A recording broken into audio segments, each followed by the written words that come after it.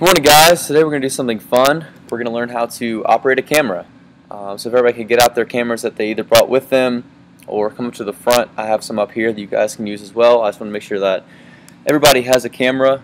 Today we're going to be going through the different operations and so I want to make sure that you guys have a camera with you so you can be following along physically doing the operations that we're talking about um, so you can get used to the feel and um, just just be able to, to tangibly see what I'm talking about up here.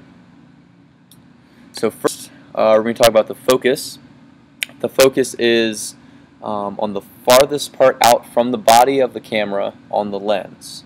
Um, so you can see here in the picture, um, the zoom is first, and then farther out um, is the focus. And so what we're going to do first um, is find something that you want to film, and then zoom in on that and of course it's probably going to look blurry. And so next take that little focus ring on the outside of the lens and turn it until it comes into focus. And with that um, now that it's in focus you can zoom back out and you can see that it stays in focus. Um, if it's not still in focus you may want to check the back focus um, and I can show you what that is. That's a little screw on the right side of the lens that may be off and so if you zoom all the way in and make it focused, and then slowly zoom back out, you can see it might start getting out of focus at a certain point. And so if, that, if that's the case, take that little screw, unscrew it a little bit, and then turn that to the right or the left until it gets into focus at that point. And then you can keep zooming out, and if it gets out of focus again, just turn that little screw to the right or the left uh, until you see it get back into focus and that's adjusting your back focus which basically will tell the camera to stay focused on that thing that you're zoomed in on. Does that make sense? Sweet. Now everybody's focused up, we'll go to the second thing. Talking about the iris now. The iris is, depending on your camera, will be the closest, the ring closest to the body of the camera on the lens. Um, if you have a DSLR, you probably will not have an iris ring um, and so you can put it either on auto iris um, or go into your settings um, to make it um, either adjusted for an outside lighting, inside lighting, um, or darker light as the case may be. Um, but on these Samsung cameras there's an iris ring that you can manually adjust. You can also set it on auto iris, but personally I don't think auto iris does a very good job. So um, I traditionally stick on manual iris for everything that I do, and I suggest you do the same um, to make sure that your video looks the best um, in the final product. Um, so you guys can play with that. Um, it's kind of a rule of thumb. If it's too bright, then turn it right. That's something that you guys um, can hopefully remember and uh, just use and, and, store in your memory there. Uh, essentially what the iris is doing is it's allowing the, the lens to let more or less light into the camera um, as what's needed. So you can see here in the picture on the left, um, the picture on the right, uh, the little circle on the right, is when the iris is closed.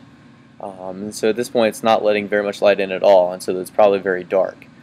Um, the second shot here is uh, when the iris is more open, so it's letting more light in. Um, and so you can just, it just depends on the time of day, um, how much light you'll need to let in the iris. Um, but obviously if it's a bright sunny day, you probably don't need to have it very open. But if it's, you know, getting dark or in, you're in a room like this, you probably will have to open the iris up more and let more light in to make the shot look better.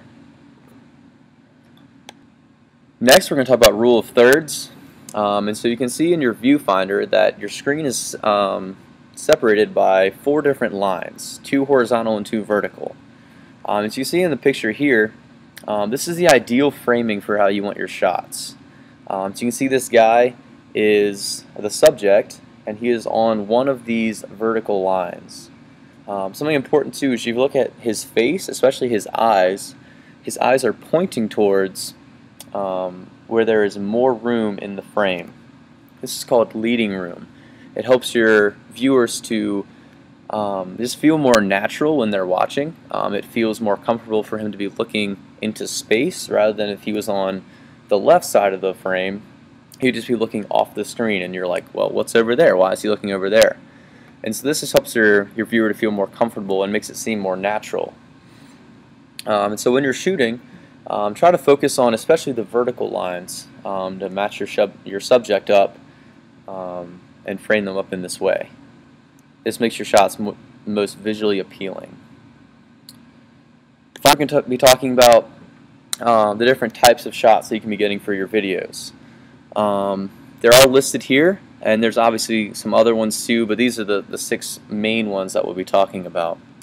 Um, the first one is this extra wide.